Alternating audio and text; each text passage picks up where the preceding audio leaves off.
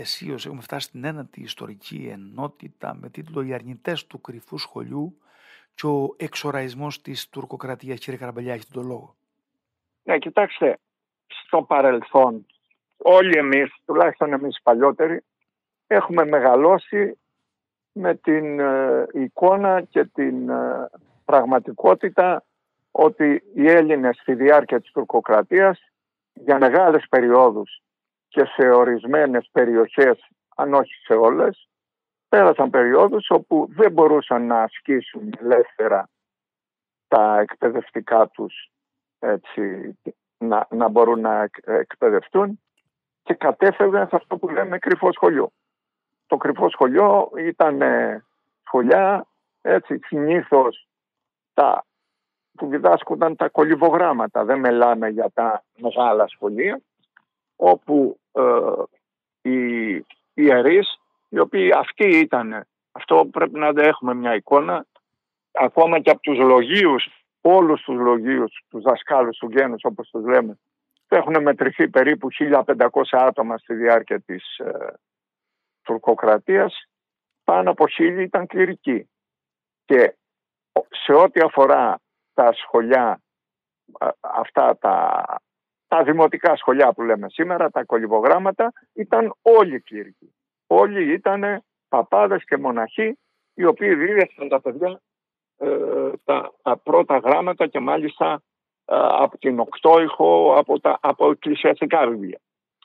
Ε, εκείνο λοιπόν που ε, ήταν δεδομένο είναι επομένως ότι οι Έλληνες είχαν πάντα πρόβλημα και δυσκολίες να μπορούν όπως και να ασκούν και τα εκκλησιαστικά τους ε, και, την, και τα θρησκευτικά τους καθήκοντα, να ασκούν και τα εκπαιδευτικά. Όμως τα τελευταία χρόνια φτιάχτηκε από το περίπου το 1980, 1990 και μετά, στα πλαίσια της μεγάλης αναθεώρησης που προσπάθησε να πραγματοποιηθεί, ε, η οποία εμφανίζει την τουρκοκρατία ως μια εποχή ε, η οποία ε, ήταν λίγο πολύ, ε, πολύ πιο ήπια από ό,τι φανταζόμαστε, την οποία ονομάζουν Οθωμανική περίοδο και όχι τουρκοκρατία, δεν έχει δηλαδή το στοιχείο του καταναγκασμού, ε, έφτασαν να αρνηθούν την ύπαρξη του κρυφού σχολείου. Και αυτή η άποψη έφτασε να περάσει και στα πανεπιστήμια και στα σχολιά και ε, στα πλαίσια του γενικευμένου αυτό που αποκαλούμε εθνομηδενισμού ε, έφτιασε μια νέα, ε, ένα νέο αφήγημα ότι δεν υπήρχε κρυφό σχολείο. Ότι το κρυφό σχολείο ήταν μύθος. Και βλέπουμε ας πούμε ότι οι απόψεις τους είναι ότι δεν είχαν κανένα λόγο να εμποδίζουν οι Τούρκοι την παιδεία των Ελλήνων. Ε, απέναντι σε αυτό λοιπόν ε, υπήρξαν και υπάρχουν πάρα πολλές αντιρρήσεις οι οποίες στηρίζονται στις πραγματικότητες της ίδιας της εποχής, σε μαρτυρίες που έχουν από την εποχή. Μία από αυτές πολύ σημαντική είναι του Κωνσταντίνου Κούμα και μάλιστα ε, ενός ε, ε, διανοούμενου λόγιου της ομάδας του Κοραή, έτσι, ο οποίος ήταν έτσι, της Κοραϊκής σχολής που είχε γεννηθεί στη Λάρισα το 1777. Δηλαδή την εποχή που υπήρχε η καταπίεση μετά, τον, ε, μετά τα ορλοφικά. Ο Κωνσταντίνος Κούμας λοιπόν, ο οποίος μάλιστα ήταν και εχθρικά διακείμενος προς τη φιλική εταιρεία της συνέχεια, αναφέρει και σας διαβάζω. Έγινε δεκαετής χωρίς να είδει ούτε εκκλησία, διότι την είχαν κρυμνήσει οι Τούρκοι, ούτε κοινών σχολείων, δηλαδή δημοτικό σχολείο διότι εφυλάται το έγκλειστος δια των φόβων των Γιαννιτσάρων ως συνέπεια του κλίματος των διώξεων που επικρατούσε μετά τα ορλοφικά. Δηλαδή, επί 10 χρόνια μέχρι το 1787, δηλαδή σε περίοδο πολύ μεταγενέστερη, περίοδο υποτίθεται έτσι μεταρρυθμιστική ε, της Οθωμανικής Αυτοκρατορίας, ε, είχαμε απαγόρευση ουσιαστικά του σχολείου στη Λάρισα, σε μια μεγάλη πόλη. Και λέει, συνεχίζει ο Κούμας. Ένα μόνο ναό ήχων, τιμόμενον εις το όνομα του Αγίου Ασυλίου. Είναι γνωστός ο Άγιος Αχίλιος Λάρης. Και τούτον τον εκρίμνιεσαν και μόνο μετά παρέλευση 24 ετών ανεκτίσθη ο ναός ούτως και ανοίγει και ο Διονύσιος Καλλιάρχης, ο Μητροπολίτης, ανοίγει το 1794, δηλαδή μετά από 25 χρόνια, και ανοίγει και το παλαιόν ελληνικό σχολείο. Αν λοιπόν αυτά συνέβαιναν κατά την περίοδο της άνθησης του διαφωτισμού, γιατί αυτή είναι η περίοδος αυτή, σε μια μεγάλη όπως η Λάρτσα, τι άραγε συνέβαινε στη Βόρειο Ήπειρο, στη Μικρά Ασία, όπου όπως μας λέει ο μεγάλος Βριώνης δεν υπήρχε όλα τα, όλοι, όλα τα σχολεία είχαν κλείσει, δεν υπήρχε κανένα σχολείο στο εσωτερικό της Μικράς Ασίας και άρχισαν να δημιουργούνται μόνο πολύ αργότερα στη Σμύρνη και στα παράλια ή στην Αίγυπτο. Διαβάζουμε λοιπόν έναν από τους σημαντικότερους ε, ηγέτες πνευματικούς του γένους, το Μελέτιο Πηγά, ο οποίος έγινε και ε, στη συνέχεια Πατριάρχης ε, Αλεξανδρίας. Ο Πηγάς σε επιστολή του το 1598 λέει ότι ε, καταδιώχθηκαν η ελληνική γλώσσα και πυρπολήθηκαν τα ελληνικά βιβλία κατά τη διάρκεια της πατριαρχίας του προκατόχου του. Δεν σας θα διαβάζω γιατί είναι σε μια γλώσσα λίγο δύσκολη.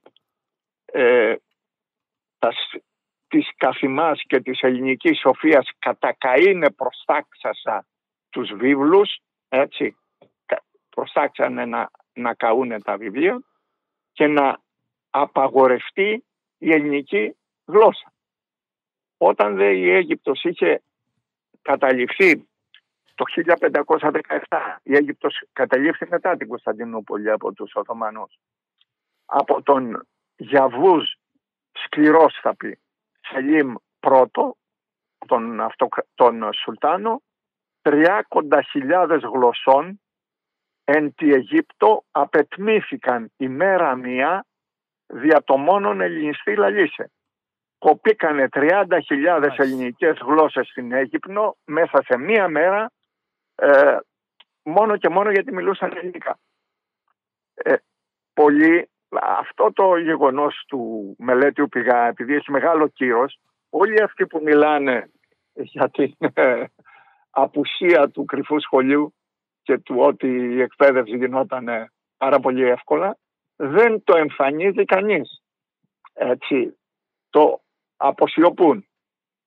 Εν τούτης, ε, αυτό ένας τέτοιος περιορισμός βρίσκεται σε συμφωνία με την τουρκική παράδοση, γράφει ποιος, ένας Άγγλος, ο Έντμουν Πίρτ, το 1890 στα Γιάννενα που απαγορευόταν η χρήση της ελληνικής γλώσσας. Και λέει, ένας τέτοιος περιορισμός βρισκόταν μάλλον σε συμφωνία με την τουρκική παράδοση.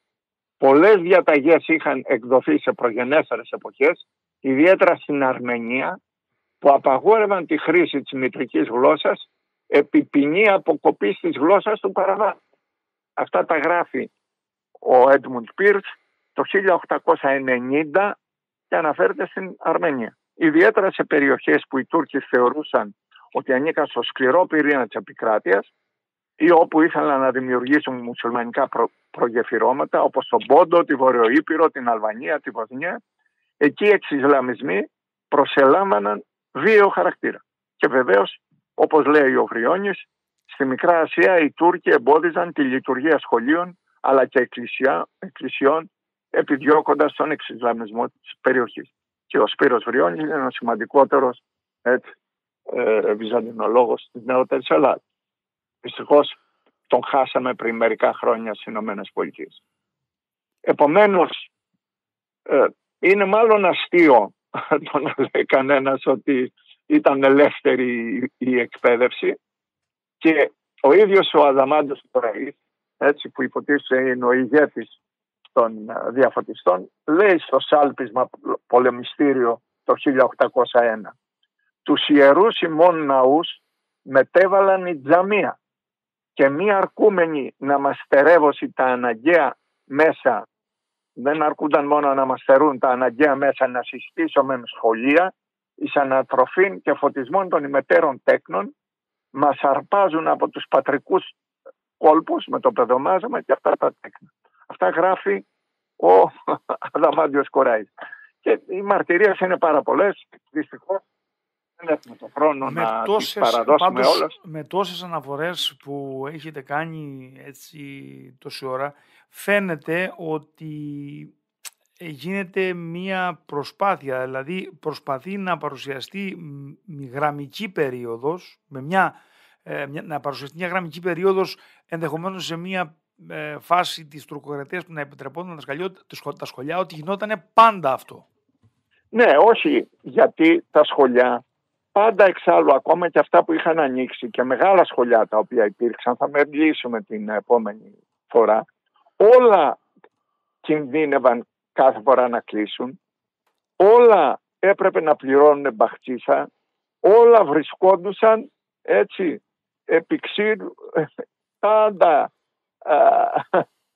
μπροστά στον κίνδυνο του κλεισίματος και έκλειναν πολλές φορές.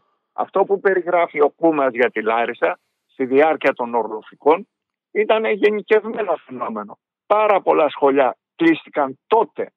Επομένως ε, όλη αυτή η ιστορία που ξεκίνησε από τον Άρχη Αγγέλου κυρίως με ένα βιβλίο του το κρυφό σχολείο χρονικού ενός μύθου, ένα μικρό βιαράκι είναι, που το έγραψε το 1997 που μεταβλήθηκε σε Ευαγγέλιο αυτής, αυτών των απόψεων.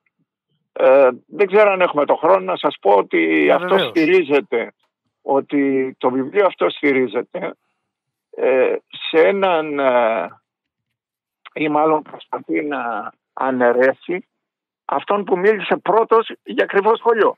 Ποιος μίλησε πρώτος για ακριβώ σχολείο; Ένας μαθητής του Κοραή, ο Στέφανος Κανέλος, ο οποίος ήταν διαφωτιστής, αγωνιστής, πέθανε στην Κρήτη μάλιστα, όπου είχε έρθει να πολεμήσει από, από αρρώστια, ο οποίος δίδασκε στην Ακαδημία του Βουκουρεστίου το 1822 και σε επιστολή του, σε ένα γερμανό λόγιο γράφει οι Τούρκοι εμπόδιζαν τα σχολεία συστηματικότερα και από τις εκκλησίες.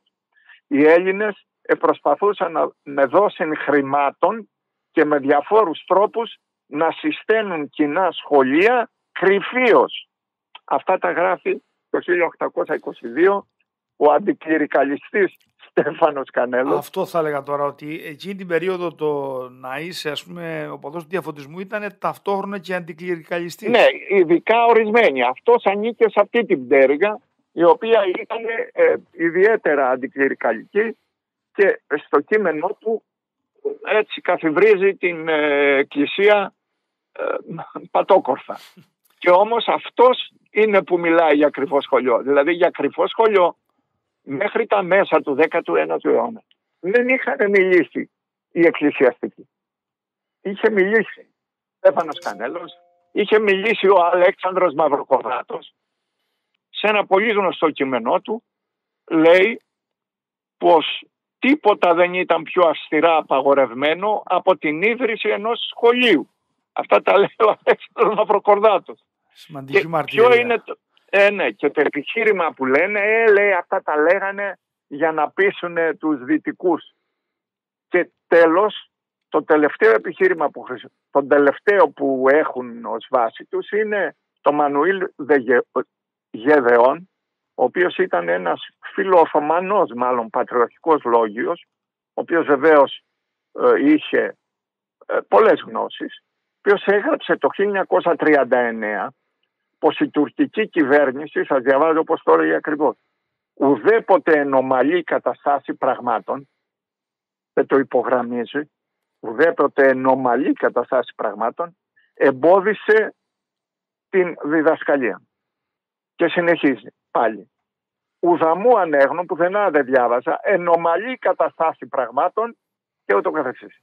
Δηλαδή ο ίδιος μας λέει, παρότι ε, έχει διαπράξει διάφορα ατοπήματα, δηλαδή λέει ότι η παιδεία μας σώθηκε από τους Οθωμανούς και διάφορα τέτοια. Εν τούτης, για να μην ε, αμφισβητηθεί, λέει ενομαλή καταστάση πραγμάτων. Πότε στην Οθωμανική Αυτοκρατορία υπήρχε ομαλή κατάσταση πραγμάτων; Μόνο, μόνο τον αριθμό των κινημάτων να βάλεις από την Μα την, την καθημερινότητα, λοιμοί, σεισμοί, καταποντισμοί, αρρώστιες, ε, ξεσηκωμοί, δεν λέω μόνο έτσι τα γεγονότα, ομαλή κατάσταση πραγμάτων στην Οθωμανική Αυτοκρατορία, δεν νομίζω ότι μπορούμε να βρούμε περισσότερο από μερικά χρόνια και μάλιστα ποτέ σε όλη την έκτασή της.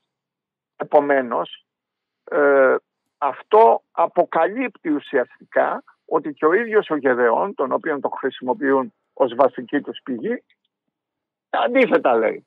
Έτσι.